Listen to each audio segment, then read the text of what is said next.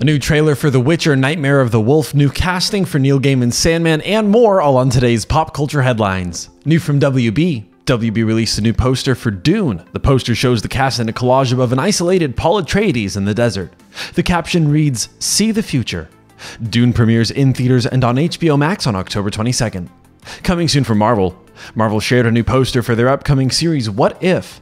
The poster gives us our best look at the zombie Avengers yet. Marvel's What If premieres on Disney Plus on August 11th. New from Netflix.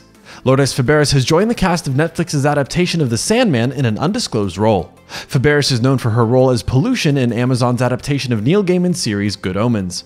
There is no further news about The Sandman at this time. Also from Netflix, Netflix shared the official trailer for The Witcher Nightmare of the Wolf. The trailer gives us a glimpse into how Vesemir became a Witcher, how he begins to work with a powerful mage, and how the humans revile the Witchers.